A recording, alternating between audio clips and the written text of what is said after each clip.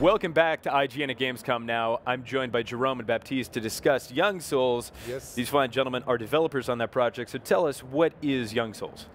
So, Young Souls is really hard for us to pitch because it's a game with, with a lot of different stuff in it. But basically, we can say that it's uh, an adventure beat 'em up. Uh, but with a setting, with a, it's set like a classical um, uh, dungeon RPG, Mm. where you have two, two stations. You have the village station and you have the dungeon station. Yeah. But Actually, the village takes place in a contemporary world, and you Yeah. have this mix of contemporary world in the village and the Yeah. medieval setting in the dungeons.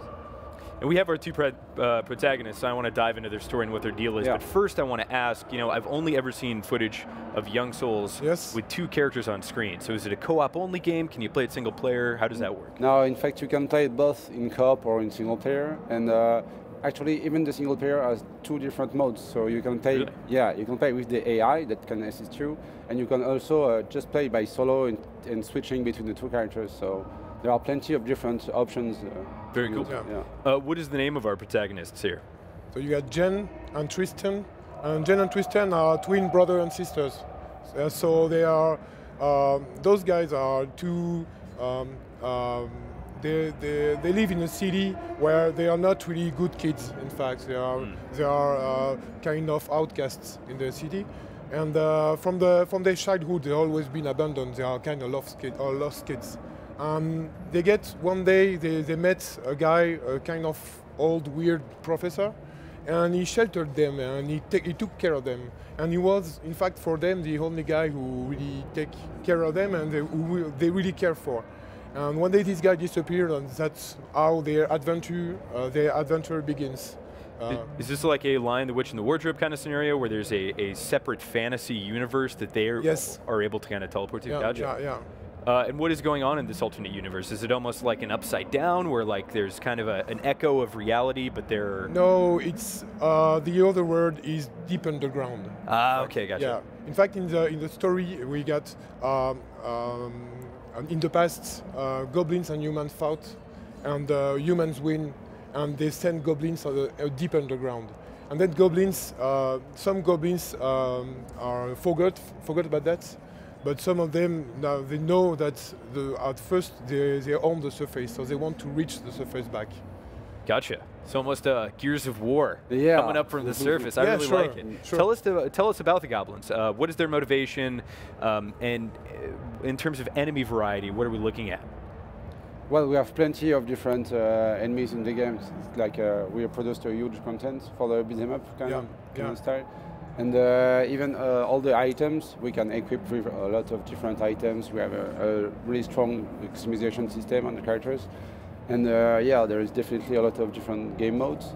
But for, for the goblins, in fact, we have uh, two kind of goblins. We got the good goblins and the evil Yeah. goblins. Oh, nice. And you got allied goblins in the game also. So it's not only uh, um, evil, evil, evil people. You got some good goblins. I like that a lot. Yeah. Yeah. So in fact, uh, the story with the goblins is that the professor uh, that sheltered the, the two kids was a kind of explorer of the goblin world, and he found some goblins and he get friend with some of them. And he was a kind of he was pacifist. He was kind of diplomat. And one day uh, he get kidnapped by an evil army, uh, evil goblin army, and that is that army wants to reach the surface. But all the other goblins are not really they are not follow all the goblins are not following him so you get really many different goblins and it's not only evil it's not only you know it's not only I think that's so cool. Uh, you know, I think one of like the, the most prevailing video game tropes is Yeah. that uh, a single faction is always portrayed as purely evil, but it's so much more interesting when it's nuanced. Yes. Uh, this looks. Is this a boss fight or is this just a very large? no it's, it's just a huge Just it's a- just a huge yeah. monster been fed very well. Yeah. the, boss, the boss fight arrives just a bit after but Uh, yeah we got a lot of different huge bosses like that uh, this one is kind of big troll and we, we, we we really wanted to, to have many different gameplays so we have some Yeah. small and fast mobs and some some bigger mobs Yeah. So yeah, we got a uh, the, the a lot of different scales between the enemies, and actually that's the intro of the game. And just after that, you'll, uh, you'll see a huge boss fight with uh, like a Wonderful. big, big Well, mecha, mecha Yeah, yeah, goblin. yeah, yeah. That's coming up. While that's happening, why don't you talk us through the combat? Uh, obviously, side-scrolling, beat 'em up action. Yeah. Um, Yeah. What kind of abilities do you have? Are there like large cooldowns, or is it all kind of quick, agile attacks?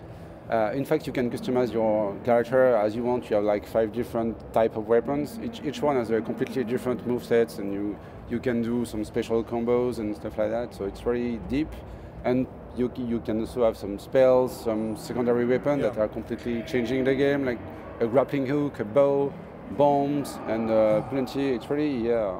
It's quite. You uh, said the magic word earlier, which is items, and I want to talk Yeah. about that. But before, since we have the boss up on the screen, let's discuss boss mechanics, Yes. uh, complexity. How difficult and intricate are the boss fights in Young Souls? Uh, the boss fights are, are have a different kind of moves and patterns. They are, they are not like the, the biggest complexity, difficult to understand, but uh, you really have to think about how the character will be equipped because you have uh, different elements that you can uh, use. Uh, so, in fact, uh, the, the idea behind the game was to um, to see what was in the dungeon, in the dungeon and equip accordingly. So you have Wow, to okay. always change your your stuff and gears and So let's talk about the loot. I mean, uh, the loot, from what I've seen, is almost like a full-blown ARPG. Is that the scale you're going for? Are there things like item rarity, uh, sets? Is that a, a thing? Uh, yeah, definitely. In fact, um, uh, the, um, we, have, we have plenty of different items, and all the statistics have influence on the gameplay. So you have to be careful about the weight of your items and uh, what it will provide. And um, but for the loot system, we haven't got uh, a classic hack and slash loot Yeah. system because all the levels are handcrafted. There is no procedural uh, levels, so it's more of a story-driven game, and you have to to buy uh, buy your items uh, and choose uh, carefully uh, what what items you will need for the for the next uh, few dungeons. So it has a kind of its unique system uh, regarding the, the items. Very cool. So we have the twins, uh, and obviously, whether you're playing with an AI or kind of swapping Yeah. between or Yeah. playing with a friend, um, it seems like co-op mechanics would be heavily incentivized. Can you tell us what kind of co-op mechanics there are in Young Souls? In fact, we, we didn't design uh, real co-op mechanics. We, it's just the gameplay which influence the cooperation. We're just designing uh, items that can influence cooperation, but we don't have really uh, like you know uh, the QTE for with uh, with the cooperation move. Right. We don't Yeah. have this kind of stuff. It's only the stuff you will equip that will uh, uh, that will. Um, uh, In fact, the game pushes you to equip your Yes. character to have a synergy between them. yeah, you get synergy. So yeah, we don't have uh, Yeah, specific moves in co because we think the single player mode would be feel like a, a letdown in comparison to the single player experience. Interesting. So you have to think always, even single player, you as you control the two characters at the same time, you have to think about the, the different combinations. So there's equipping your character for battle, Yeah. and then there's Yeah. equipping your character Here- for Yeah. the battle of uh, the social Yeah. hierarchy. Here it's, it's right? just the equipment is just for the outfits. Yeah. So uh, the game is, di- in fact, the game is divided in several days. We wanted to have a kind of day cycle mechanic, uh, and we wanted that because we, we, we really liked to um, to have this story set in a, in a long period. So we wanted the player to feel uh, that this this character at the beginning of the game they are just like normal kids and they get better and better and they became heroes uh, day after day. So we wanted to tell a story that being a hero doesn't take only one day it takes a lot of days. So we, we try to insert in the dungeon rpg mechanics uh, kind of day cycle. So we can we can make them evolve day after day. So every morning you got a kind of morning routine where you have to equip yourself with only clothing with only clothes and after when you go down to the dungeons you can equip with more dungeon equipments so dungeon equipments get uh, above your teenager's outfit. So you get some. Yeah. Sometimes you get some crazy looks with you know incomplete armors on your uh, on your teenager outfit. So that's what we wanted to have. We wanted to have a, uh, a big contrast between the two worlds. So they live in a mo- uh, in a, hum- in a human uh, world in a, in the human world, and they go to a kind of really classic medieval fantasy world. So we wanted to mix the two with that the presence of those, these two characters bringing their bringing their sneakers, bringing their, Yeah. their jeans, and putting some armors and putting some some helmets. I like uh, that a And- lot. yeah, and we even have uh, one goblin who's a big fan of sneakers, and he reveals the hidden power. Yeah. Yeah. So we, we inserted some goblins in town. So here Yeah. you are in you are in the in the human the human part of the town. So you have a lot of different uh, different shops. And you have control over this. Yeah, you're- yeah, you so control tell the base- Tell us about the kind of activities you can do in town. So in town here, for example, you are in the boxing center. In the boxing center, it's uh, the, the, the, the the, the, the place where you learn how to fight. So at the surface you have boxing, and uh, below the boxing center you have a, a, kind of goblin arena, and you get the goblin uh, sword master that teaches you how to use sword, and he, he unlocks also abilities for the players. So you get this, you get this kind of uh, uh this kind of uh, of shops of places, and you get also the hidden the hidden place uh, hidden place in the, in the in the town is the Goblin Streets are here. And player, this, is how we're getting. This is the Goblin Street. The Goblin Street is more like a classical uh, the classical village in the classical village in, for example, Diablo. Sure. So yeah. at the beginning of the game, this village is totally empty, and then you have to free the contrast of like putting on jeans, going down, buying a yes, shield. Yes, yeah, yeah, yeah. And you have at the beginning it's totally empty and you have to free them in the in the dungeons and then they populate uh, they repopulate the, the place. And you have we have a lot of many different uh, uh, characters and all of the characters have his own story. So you can develop the story day after day. So we wanted to have the day cycle is not just uh, here for you know the feeling, but we wanted to add some different mechanics in the story with the day cycle. Great. So, so uh, we're running a little bit short on time, but tell me yeah. about the campaign length as well as kind of the progression in terms of how you're ramping up uh, mechanics and narrative throughout the, the duration of the campaign. Yeah.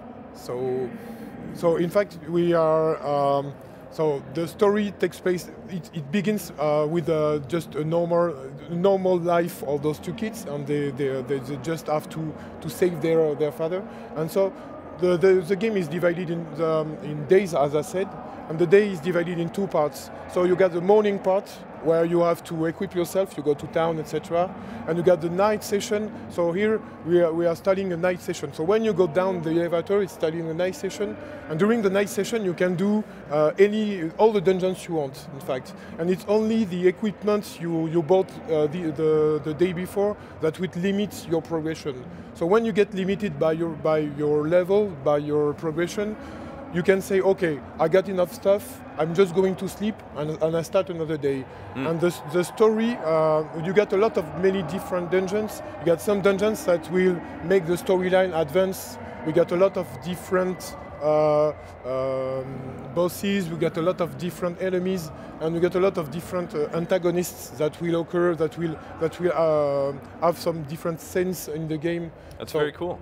You know, I have to say, like, you look at a side-scroll beat 'em up action game, and I think you think, well, this is very simple, but this is deceptively complex. There's a yeah. lot going on. Yes. Uh, unfortunately, we are out of time. Jerome Baptiste, thank you so much for joining me. Thank you. Uh, You're welcome. You can definitely check out more Young Souls on IGN, so be sure to do that. The game looks awesome so far. Uh, and Gamescom, don't go anywhere, because we'll be right back after this.